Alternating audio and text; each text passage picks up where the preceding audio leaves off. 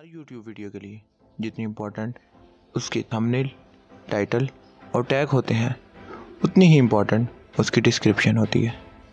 मिसाल के तौर पर, अगर एक वीडियो का description score five out of five है और एक का ज़ीरो आउट ऑफ़ फाइव है तो दोनों में फ़र्क तो होगा ना? अब सवाल ये उठता है कि अच्छी डिस्क्रिप्शन लिखी कैसे जाए?